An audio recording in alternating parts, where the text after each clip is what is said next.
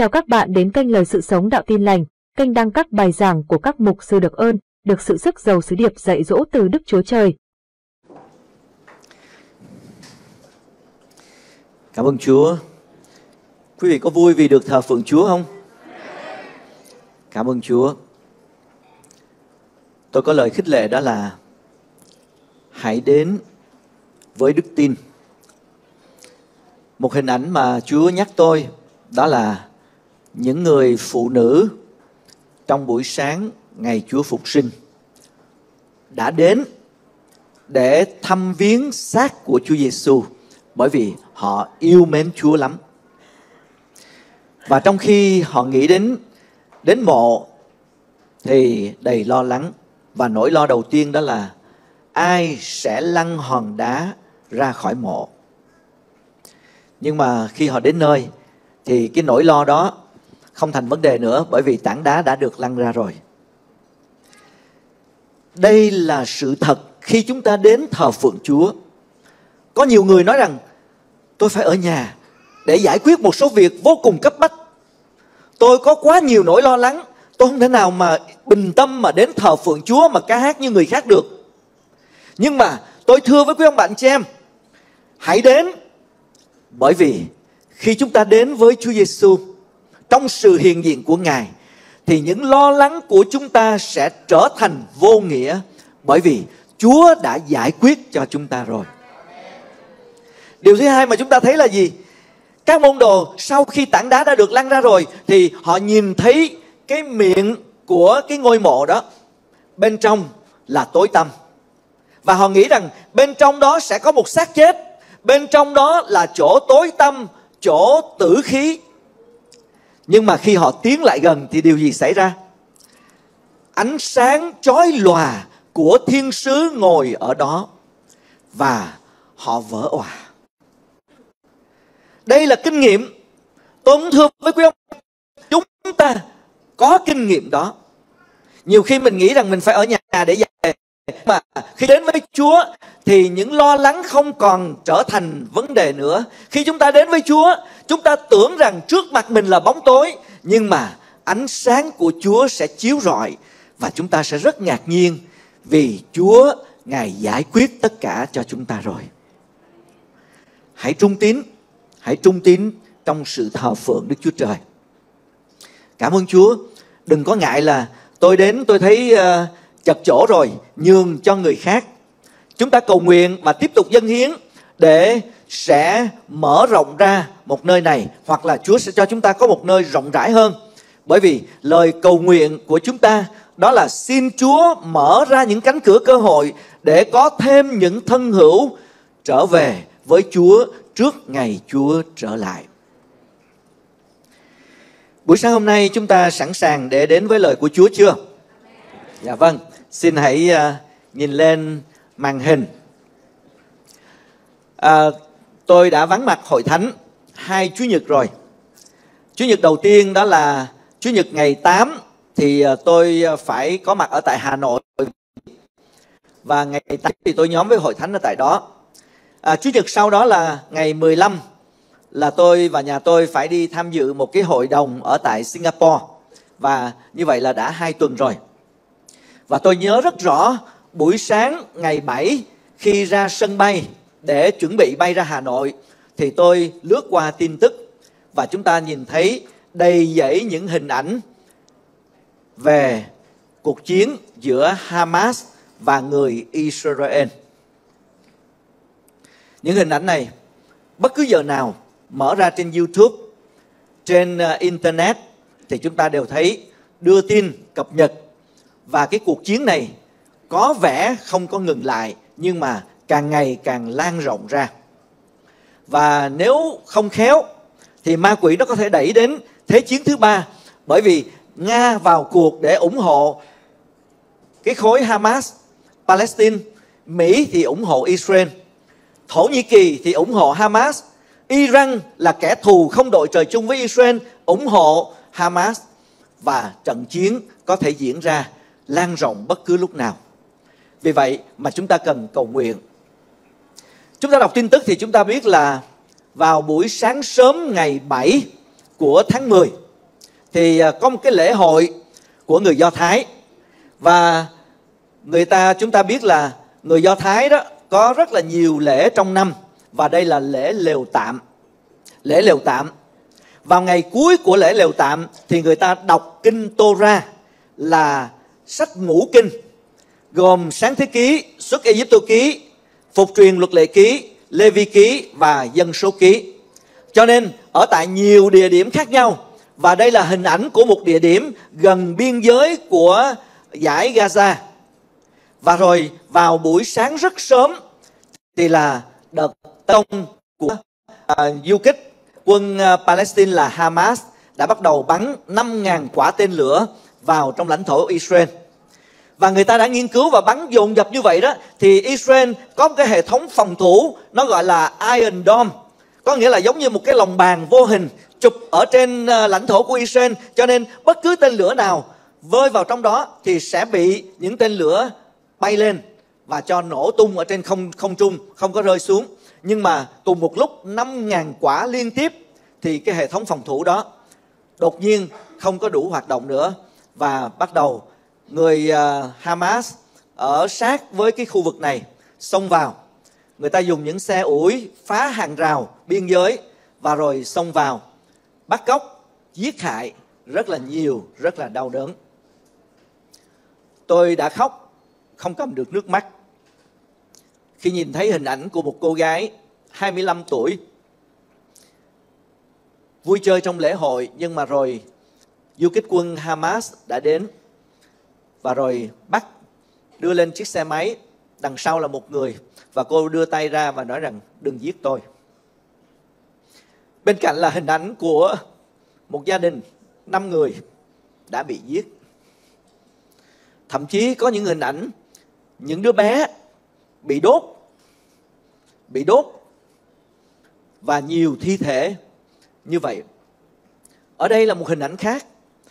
Một gia đình năm người đã bị giết và người ta tìm thấy lễ tang được tổ chức 203 chiếc ghế trống để tưởng niệm những người bị bắt cóc không biết tình trạng của họ ra sao và người ta dọn một cái bàn tiệc có sẵn 203 chiếc ghế trống, có những chiếc đĩa trên bàn để tưởng nhớ những người Israel đã bị bắt cóc. Tất cả những điều này chúng ta xem diễn ra mỗi ngày và tình hình càng ngày càng gia tăng. Tôi cầu nguyện lạy Chúa, con sẽ đem lời Chúa đến cho hội thánh ra sao trước hoàn cảnh này. Bởi vì chúng ta biết rằng lời của Chúa không phải là lời chết, không phải là ghi lại những câu chuyện xưa cũ không có liên quan gì đến đời sống của chúng ta Kinh Thánh nó cho biết rằng lời của Chúa là lời sống và linh nghiệm, sắc, hơn, gươm, hai lưỡi. Cho nên tôi tin rằng bất cứ trong cảnh ngộ nào, dù là vĩ mô hay là vi mô, chúng ta có thể tìm được sự nhắn nhủ của lời Ngài để Ngài cho chúng ta biết điều gì đang diễn ra và tại sao Đức Chúa Trời là đấng kiểm soát từng chi tiết đến từng sợi tóc ở trên đầu của mỗi một con người lại để cho điều đó diễn ra. Và tôi cầu nguyện, Chúa ơi, con sẽ đem gì đến cho bầy chiên? Bởi vì tất cả chúng ta, tôi là chiên của Chúa, quý ông bạn chị em là chiên của Chúa. Và chúng ta có một tiêu chuẩn đó là lạy Chúa Ngài hứa rằng chúng con là chiên của đồng cỏ Ngài và là chiên tay Ngài dìu dắt. Xin hãy đem chúng con đến đồng cỏ xanh tươi, đến mé nước bình tĩnh để linh hồn của con được nuôi dưỡng. Và đó chính là lời cầu nguyện. Và tôi khích lệ quý ông bạn chị em, mỗi khi chúng ta đến nhóm với hội thánh, đừng có đến để chỉ nghe những ý tưởng hay, đừng đến để những, chỉ nghe những bài thánh ca, nhưng mà đến và nói rằng lạy Chúa con là chiên của Ngài, nếu không có cỏ thì con sẽ đói, con đói thì con sẽ bệnh, không đề kháng được với bệnh tật, con đói thì con sẽ ốm yếu và lạy Chúa, con là chiên của Ngài.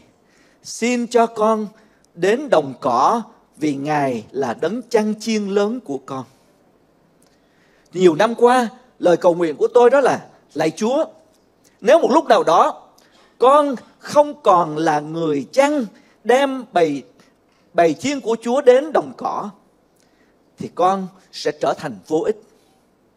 Và đó là lời cầu nguyện của tôi trong 40 năm qua. Buổi sáng hôm nay, chúng ta hãy mở lòng mình ra. Chúng ta hãy bình tâm để thưa với Chúa rằng, Chúa ơi, trước những biến cố dữ dội như vậy, trước hàng ngàn người đã chết, hàng trăm người bị đối diện với bạo lực và chiến tranh còn tiếp tục leo thang bởi vì người Israel đang trả đũa và rồi hàng ngàn người Palestine cũng đang chết họ là nạn nhân của chiến tranh điều gì đang diễn ra và xin hãy nhắn nhủ với con để con biết Ngài muốn nói với con điều gì trong thời khắc này. Chúng ta hãy xem Luca đoạn thứ 13 từ câu 1 đến câu thứ 9 và chúng ta lắng lòng mình để Chúa nhắn nhủ gì với mình. Tôi xin đọc. Cũng lúc ấy có mấy người ở đó thuật cho Đức Chúa Giêsu nghe về việc Phi Lát giết mấy người Galilee, lấy huyết trộn lộn với của lễ họ. Đức Chúa Giêsu cất tiếng đáp rằng: Các ngươi tưởng mấy người đó vì chịu khốn nạn dường ấy có tội lỗi trọng hơn mọi người Galilee khác sao? Ta nói cùng các ngươi không phải.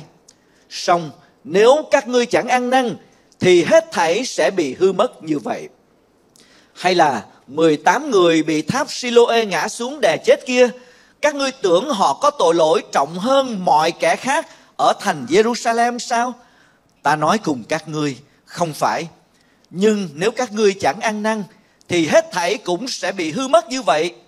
Ngài lại phán thí dụ này, người kia có một cây vả trồng trong vườn nho mình, đến hái trái mà không thấy, bèn nói cùng kẻ trồng nho rằng, kìa đã ba năm nay ta đến hái trái nơi cây vả này mà không thấy hãy đốn nó đi cớ sao nó choáng đất vô ích kẻ trồng nho rằng thưa chúa xin để lại năm này nữa.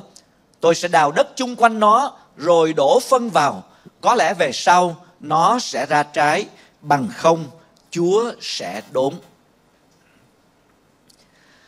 Luca đoạn 13 thì ghi lại một câu chuyện 2.000 năm trước. Quanh quẩn Chúa Giêsu có các môn đồ và họ thắc mắc lắm. Bởi vì có một cái ờ, sự cố xảy ra là nhiều người Galile bị Phi Lát giết. Chúng ta biết là lúc bây giờ thì đất nước Do Thái ở dưới sự đô hộ của người La Mã. Và người Do Thái thì thỉnh thoảng có những cái cuộc nổi dậy, cho nên bị người La Mã trấn áp và chính quyền La Mã đã đối xử rất là tàn bạo đối với những người nổi loạn có một sự kiện như vậy, họ thắc mắc quá họ nghĩ rằng chúa ơi, chúa đang ở đâu? Ngài có còn sống không? Ngài có nhìn thấy nỗi khổ của những con người này không? Nếu chúa thấy, nếu chúa biết, thì tại sao chúa lại để cho điều này xảy ra? Vì vậy mà các môn đồ đã đem đến với chúa giêsu và kể điều đó. Chúa giêsu, ngài không có nói gì cả. Ngài còn kể thêm cho họ nữa. Không phải chỉ có chừng đó đâu. Không phải chỉ có mấy người Galilee bị Phi Lát giết đâu mà còn 18 người bị tháp Siloe ngã xuống đè chết nữa kìa. Điều đó muốn nhắn nhủ điều gì? Chúa Giêsu là con Đức Chúa Trời, Ngài biết từng chi tiết mọi điều xảy ra trong thế giới này trong cuộc đời của con người. Các môn đồ thì nghĩ rằng chúa không biết cho nên mình đem đến mình kể cho chúa nghe thử xem là chúa sẽ trả lời như thế nào. Nhưng mà chúa nói rằng ta còn biết nhiều hơn là con biết nữa kìa. Phải không? Chúa kể cho họ nghe thêm một cái sự kiện 18 người nữa và câu nói của chúa là gì không phải vì những người này có tội nhiều hơn những người khác mà họ bị như vậy đâu nhưng nếu các ngươi không ăn năn thì hết thảy sẽ bị hư mất như vậy. Kinh Thánh cho biết rằng vì mọi người đều đã phạm tội, thiếu mất sự vinh hiển của Đức Chúa Trời. Còn chúng ta đã chết vì tội lỗi của mình. Kể từ khi trong vườn Eden, Adam và Eva đã phạm tội thì án tử đã đến trên cả nhân loại, cho nên sự chết nạn nhân bằng cách này hay cách khác điều đó sẽ diễn ra mỗi ngày rất bình thường bởi vì án tử đã gán trên con người rồi và chúa nói rằng lối thoát giải pháp không phải là tránh né những điều đó, nhưng mà phải ăn năn, phải nhận biết rằng mình cần đức chúa trời, phải nhận biết rằng mình cần vâng lời đức chúa trời. Phải ăn năn, bởi vì nếu không ăn năn thì cả nhân loại đã phạm tội, cũng sẽ bị hư mất. Chết cách này hay cách khác, chết nhẹ hay là chết yên lành, hay là chết một cách rất tàn bạo. Và sứ điệp ở đây là gì? Hãy ăn năn. Nếu không ăn năn, thì điều đó sẽ xảy đến cho tất cả mọi người.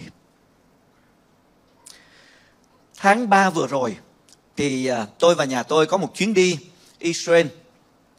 Và đây là cái chuyến đi lần thứ hai của chúng tôi. Quý vị để ý thì sẽ thấy rằng từ khi ở bên đất nước Israel, thì tự nhiên Chúa sức giàu.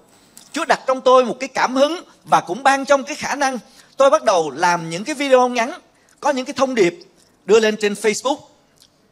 Và rồi sau đó trở về thì lại tiếp tục làm nữa. Và tôi nhớ là 24 cái video như vậy.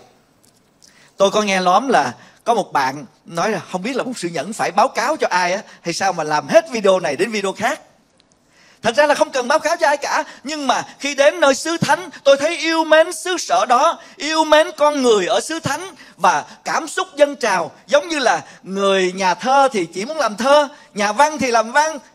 Và tôi có cái khả năng quay phim chụp hình cho nên tôi soạn những cái video đó và trên facebook, quý vị có thể xem lại. Phải nói rằng, một tình yêu mến đối với người Israel bắt đầu dâng lên rất đặc biệt trong lòng của tôi. Năm 2009 thì tôi đã đến một lần rồi. Nhưng mà lúc bấy giờ cái tình cảm của tôi không biết là tôi chưa trưởng thành hay là chưa hiểu biết Chúa đủ. Nhưng mà lòng yêu mến Israel nó không như bây giờ đâu. Tôi yêu họ vô cùng. Và trong những ngày qua khi nghe tin tức, khi nhìn thấy hình ảnh của những người Israel, khi nhìn thấy nạn nhân, khi nhìn thấy những người nam, người nữ trở về tình nguyện gia nhập vào quân đội, nhiều lần tôi không cầm được nước mắt đâu và tôi biết rằng điều đó là đẹp lòng Chúa bởi vì nếu chúng ta là con trai con gái của Chúa mà chúng ta vô cảm đối với người Israel thì mình không có xứng đáng là con của Chúa đâu. Bởi vì Chúa nói rằng phàm ai yêu mến Jerusalem sẽ được thới thịnh. Ta sẽ chúc phước cho người nào chúc phước ngươi, rủa xả kẻ nào rủa xả ngươi. Và cảm ơn Chúa, tôi biết Chúa đặt tôi trong dòng chảy của Thánh Linh Ngài tôi bắt đầu quan tâm.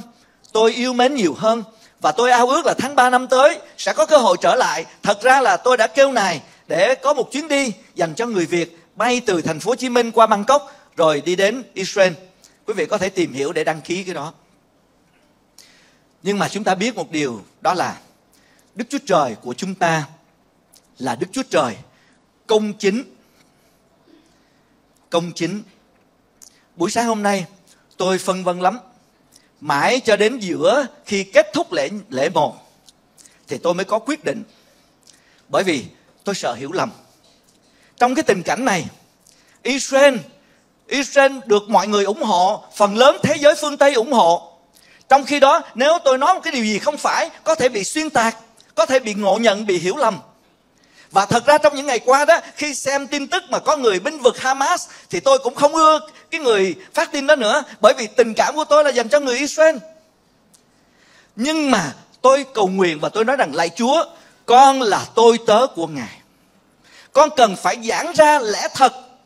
Lẽ thật đó là lời của Chúa. Không thể nói chuyện sai thành đúng, không thể nói chuyện đúng thành sai được bởi vì lời của Chúa rất rõ ràng và con là đầy tớ phải trung thành với lẽ thật.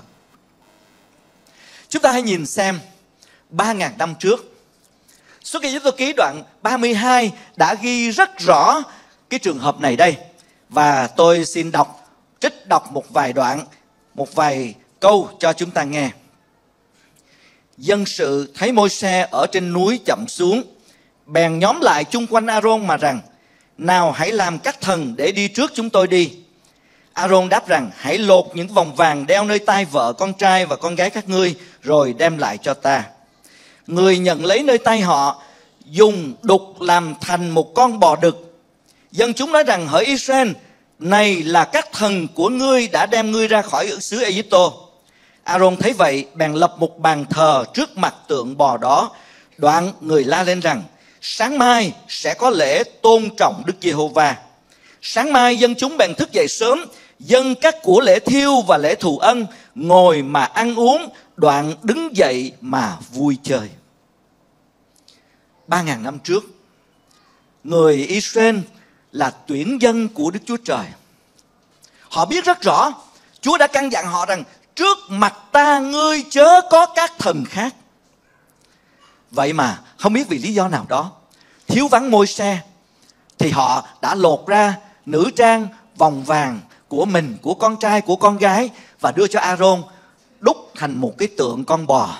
Và rồi thờ lại nó vui chơi và thậm chí kinh thánh nói rất rõ họ ngồi mà chơi giỡn. Và chúng ta xem cũng trong đoạn 32 nói như thế này. Vả môi xe thấy dân sự buông lung Vì Aaron để cho họ buông lung Đến nỗi bị sỉ nhục trong vòng các thù nghịch. Người đứng nơi cửa trại quân mà nói rằng Ai thuộc về Đức Giê-hô-va Hãy đến cùng ta đây. Mỗi người trong các ngươi hãy đeo gươm bên mình Đi qua đi lại trong trại quân. Từ cửa này đến cửa kia Mỗi người hãy giết anh em bạn hữu và kẻ lân cận mình. Dân Lê-vi bèn làm y như lời môi xe Trong ngày đó có chừng ba ngàn người bị chết. Ba ngàn năm trước, dân Israel, dân số ít hơn bây giờ nhiều lắm. Chỉ trong một ngày thôi, ba ngàn người chết. Và lý do gì? Vì vì sao? Vì đã trái với lời của Đức Chúa Trời. Trong biến cố của Hamas và Israel từ ngày 7 cho đến bây giờ đã hơn 2 tuần. Thật ra con số thương vong của người Israel khoảng chừng 1.500 người. 1.500 người chết. Nhưng mà chúng ta hãy nhớ rằng 3.000 năm trước, trong một ngày 24 giờ đồng hồ 3.000 người đã chết vì trái với lời của Đức Chúa Trời. Hãy nhớ rằng, đất nước Israel là tâm điểm của thế giới. Chúa Giêsu ra từ đó. Dù cho chúng ta có đạo hay không thì buổi sáng chúng ta mở mắt ra xem hôm nay là ngày mấy tháng mấy. Năm 2023 căn cứ vào ngày mà Chúa Giêsu đã đến đất nước Palestine Giáng sinh trở thành con người 2023 năm. Người ta nói rằng Israel là chiếc đồng hồ của thế giới cho nên khi nhìn thấy Israel trở lại, cây vả nứt lộc thì biết mùa hạ gần đến. Cho nên Chúa dùng Israel, Israel như là một chiếc đồng hồ báo thức. Vì vậy, tin tức đã diễn ra từ ngày 7 cho đến bây giờ chúng ta không được phép coi thường đâu. Tôi rất thương. Nhưng mà Chúa muốn nhắn nhủ chúng ta một điều gì đó.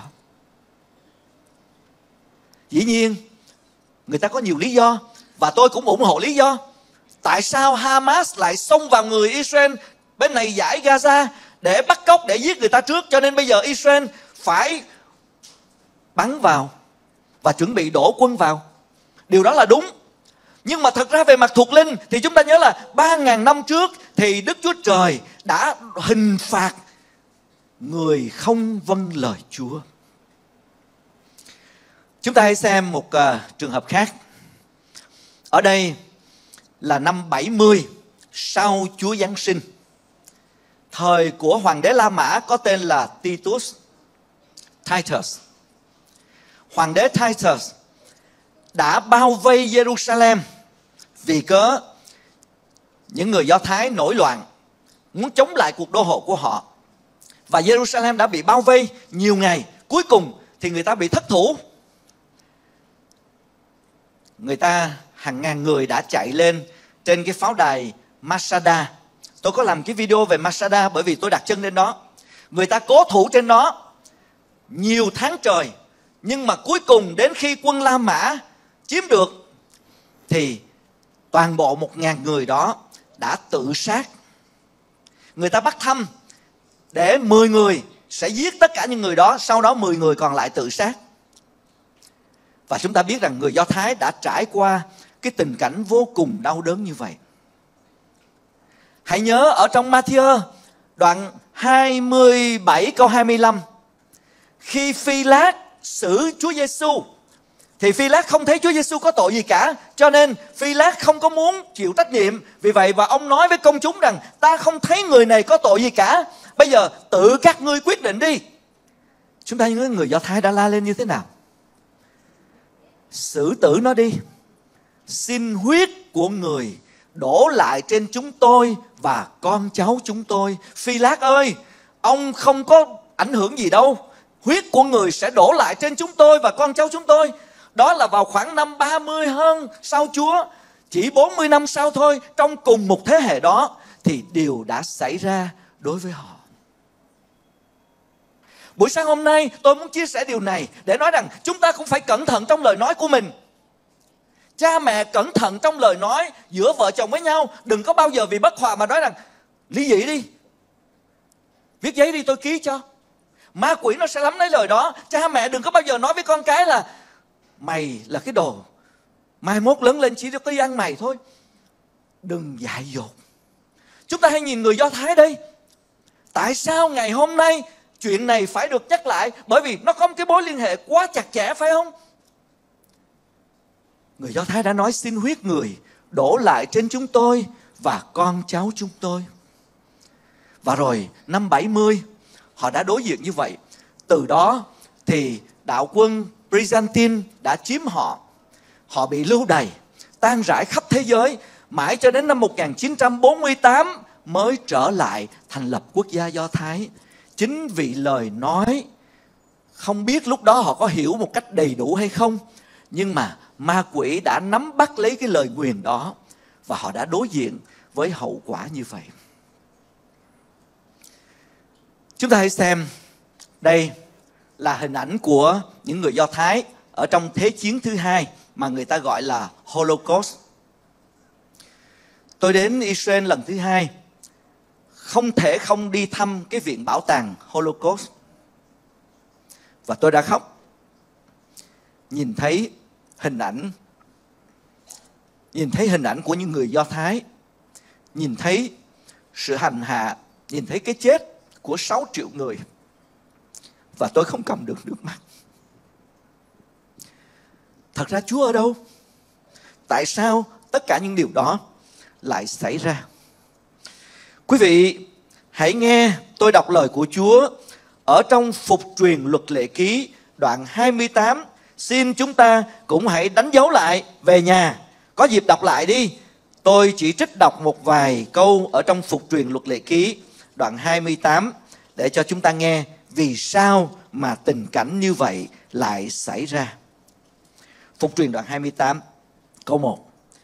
Nếu người nghe theo tiếng phán của Jehovah Đức Chúa Trời ngươi cách trung thành, cẩn thận làm theo mọi điều răn của Ngài mà ta truyền cho ngươi ngày nay – thì Jehovah Đức Chúa Trời ngươi sẽ ban cho ngươi sự trỗi hơn mọi dân trên đất. Nếu ngươi nghe theo tiếng phán của Jehovah Đức Chúa Trời ngươi, này là mọi phước lành sẽ giáng xuống trên mình ngươi. Ngươi sẽ được phước trong thành và được phước ngoài đồng ruộng, bông Sanic. Và chúng tôi có nhóm với họ.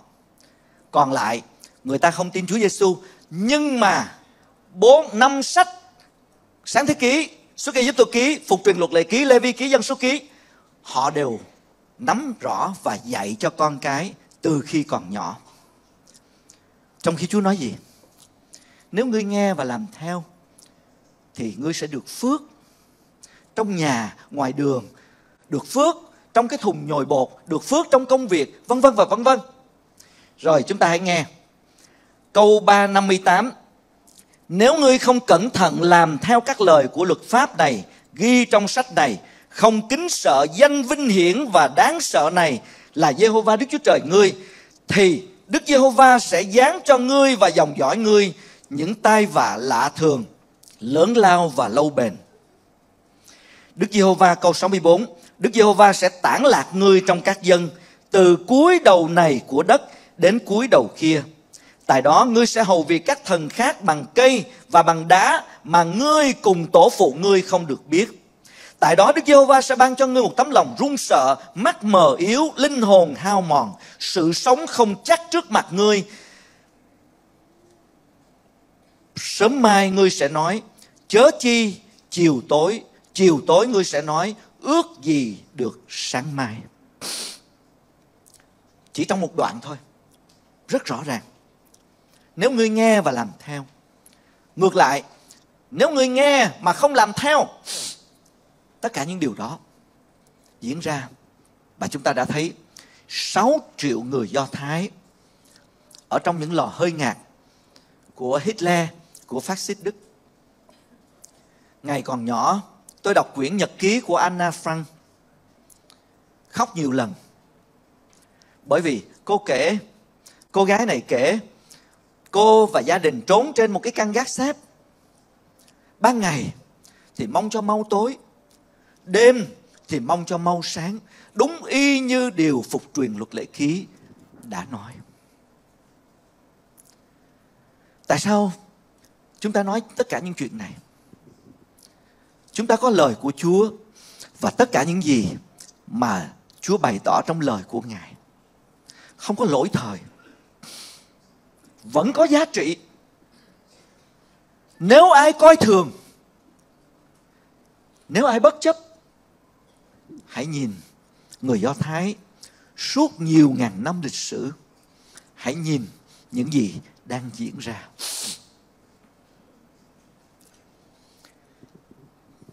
Mới nhất, không biết quý vị có đọc được không? Có thấy cái ngày của nó không? Ngày 12 tháng 10 2023 Israel thành lập nội các chiến tranh. Tại sao phải thành lập nội các chiến tranh? Đây, Thủ tướng Israel Benjamin Netanyahu và lãnh đạo phe đối lập theo đường lối trung dung vừa đồng ý thành lập một chính phủ đoàn kết khẩn cấp. Phải thành lập nội các chiến tranh với điều kiện là tập trung vào chiến tranh thôi không có bàn về quan điểm chính trị. Tại sao? Trong năm 2023 thì Israel đã nổ ra những cái cuộc biểu tình kinh khủng. Người ta nói rằng trong 50 năm lịch sử của Israel chưa hề có những cuộc biểu tình như vậy. Có những cuộc biểu tình lên đến hàng triệu người. Và lúc đó là lúc mà chúng tôi còn ở bên đó, đang trên đường về đó. Chúng tôi đi đường mà thấy có những nơi xe bị chặn lại bởi vì đoàn người biểu tình. Và thật ra hai phe biểu tình với nhau. Một bên thì đòi hỏi là phải tiêu diệt cơ đốc giáo trung thành với do thái giáo. Đến nỗi bài báo mà tôi đăng kế bên đó do thái cực đoan chống Kitô hữu tại thánh địa. Hai hai phe đối lập với nhau. Người ta muốn trở lại với do thái giáo. Và chúng ta nhớ là do thái giáo điển hình là người Pharisee, người Sadduce đã bắt bớ Chúa Giêsu, đã đòi giết Chúa Giêsu đó. Chúng ta nghĩ rằng ô trên một đất nước như vậy thì người ta phải biết Chúa. Vâng, người ta biết Kinh Thánh, người ta biết Đức Chúa Trời là Đức Chúa Trời kỵ tà, chỉ một mình Ngài xứng đáng được tôn thờ. Nhưng mà biết là một chuyện, vâng hay không lại là một chuyện khác. Tôi đã là con mục sư, suốt 23 năm ai mà nói sai về tin lành tôi cãi cho coi. Nhưng mà năm 23 tuổi thì tôi mới thật sự kinh nghiệm tình yêu của Chúa. Hai điều đó khác nhau.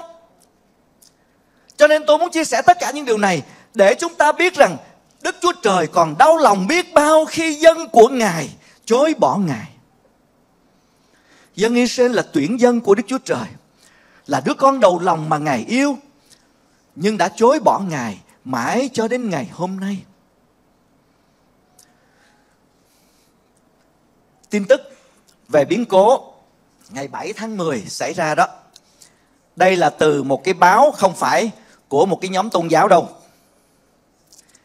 Từ NBC là một đài truyền hình tin tức của Hoa Kỳ. Cái tựa của bài này nói gì? Những cái đôi giày sandal bị bỏ lại. Những chai rượu uống gian dở.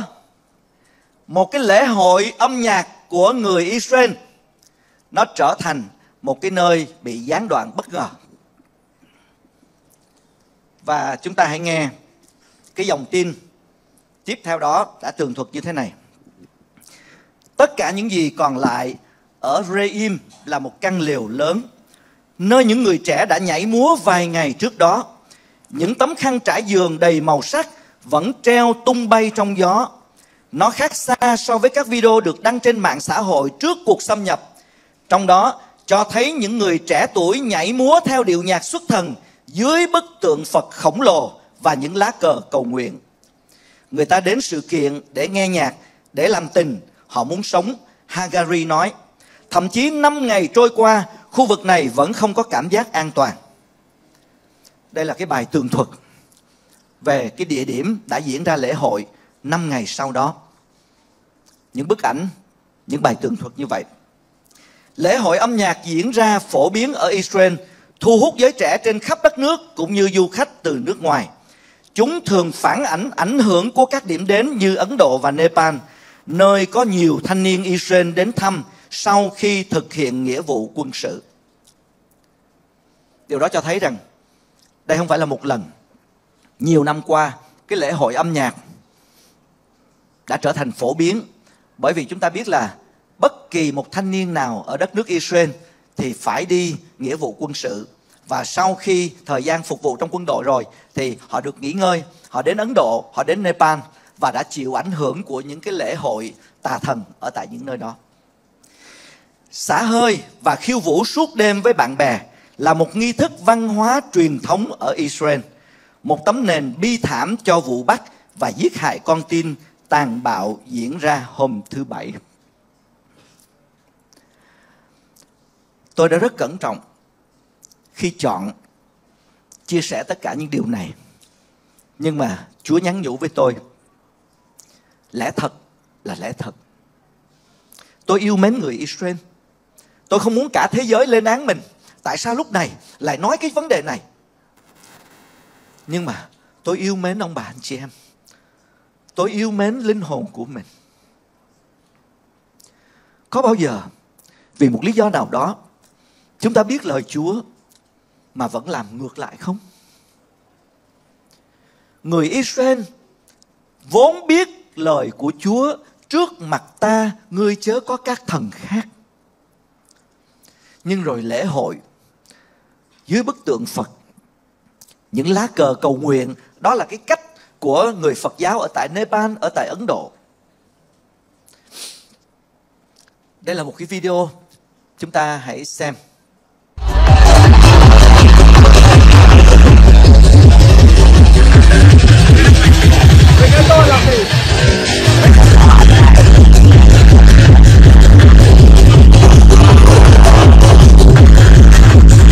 Gracias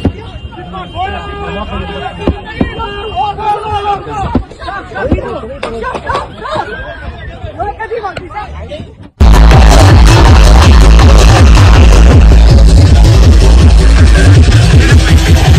tôi là gì Cái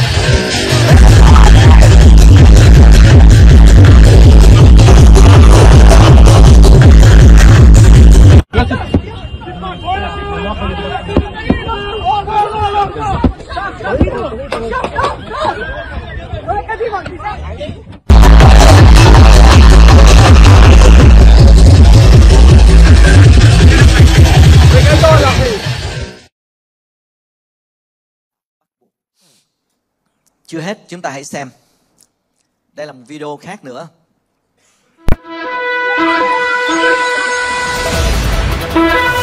Move over, San Francisco and New York. The hottest destination for gay tourists is now in the Middle East. Recently named Best Gay City in a contest, Tel Aviv has seen a sharp rise in gay tourism. The city has long been referred to as a bubble for its openness in a region not exactly known for tolerance toward homosexuality, something that seems to add to its allure. Tel Aviv is hot right now because it's unique. It's in the Middle East where it's not so easy to, to be gay, and it's like a paradise in an area where you would not uh, um, obviously found an open city like Tel Aviv. So people find it interesting. The interest in the exotic is apparent at the many gay nightclubs throughout the city. You know, gay people always love something new. Like we know San Francisco, we know New York, and we know Amsterdam, we know it already. But there is something new, and we have so many things here. We have so many things here. Israel's tourism ministry launched a campaign three years ago to promote gay tourism. Their efforts seem to have paid off. Gay tourism consultants have been flooded with requests, and attendance at Tel Aviv's annual Pride events was up 25% last summer. Từ hàng chục năm rồi, đã trở thành thiên đường dành cho những người đồng tính. Và chúng ta hãy nghe lời của Chúa ở trong Lê Vi Ký đoạn 20 câu 13 nói như thế này. Nếu một người nam nằm cùng một người nam khác như nằm cùng người nữ, thì hai người đó đều hẳn phải bị xử tử vì họ đã làm một sự gớm ghiếc, huyết họ sẽ đổ lại trên mình họ người do thái không tin tân ước. Vâng nhưng mà phần kinh thánh tôi vừa đọc là cựu ước. Là nằm trong năm sách mà người do thái bắt buộc phải học khi ở trong trường học.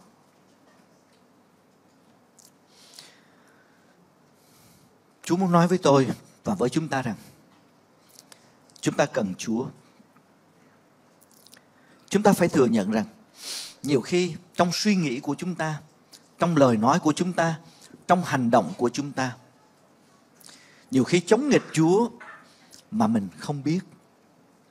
Và rồi rước lấy sự rủa xả. Chúa Giêsu nói rằng nếu không ăn năn sẽ bị hư mất như vậy người ta đang tìm một giải pháp chính trị hòa giải giữa hamas giữa israel. Nhưng mà thật ra chúng ta có lời của chúa. Chúng ta biết rằng giải pháp đó là gì? Ăn năn.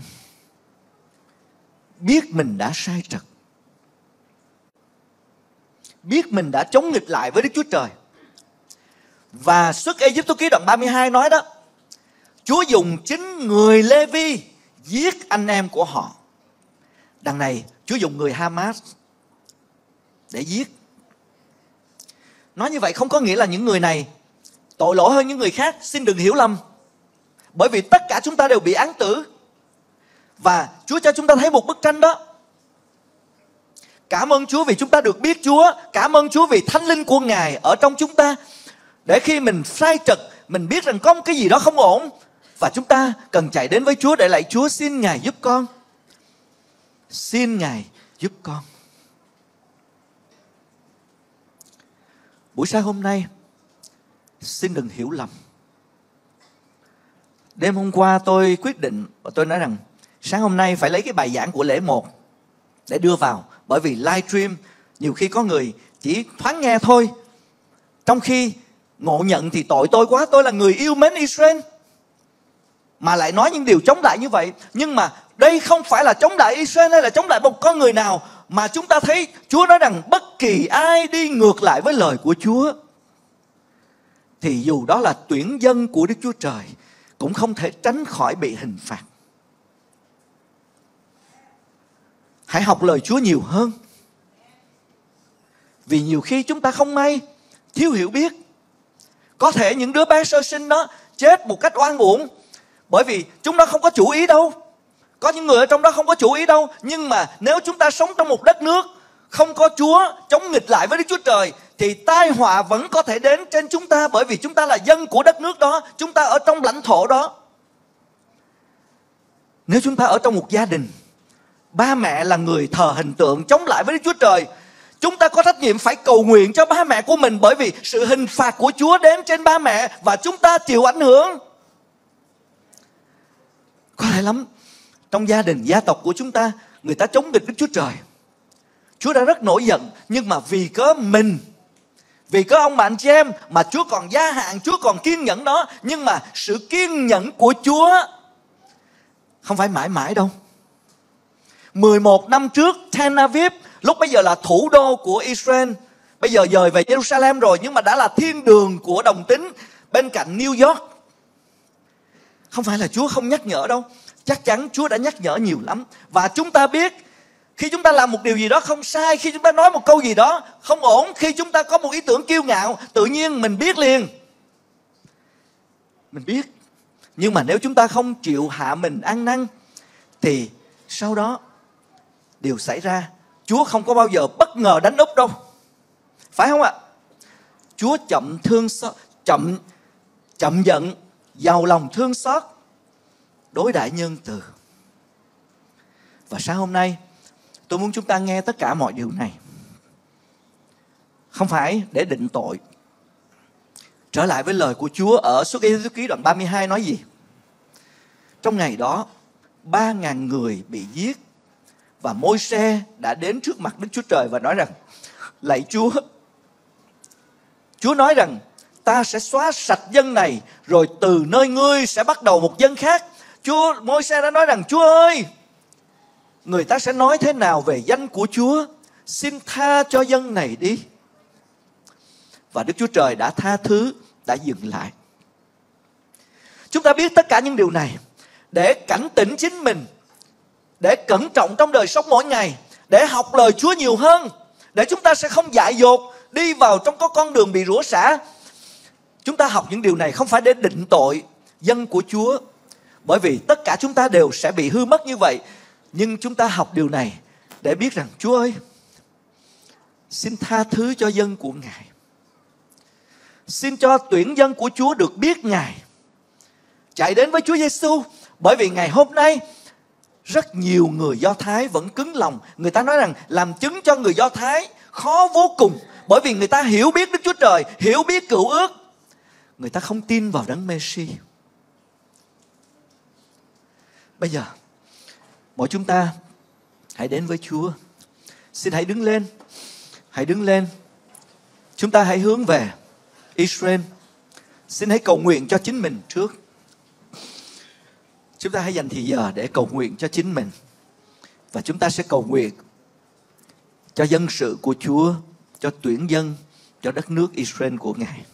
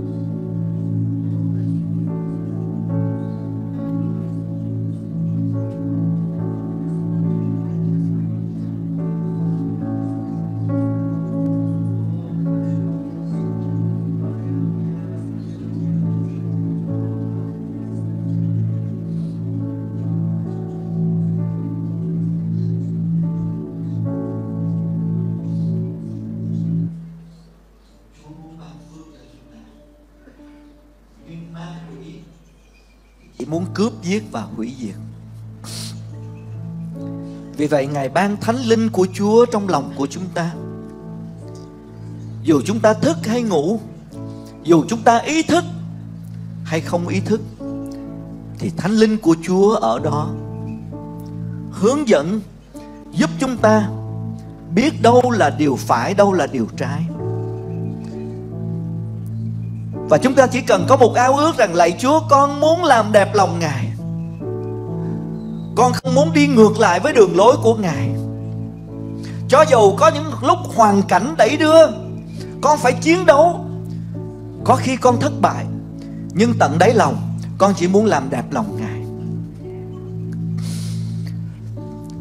Chúa sẽ bảo vệ và giữ gìn chúng ta.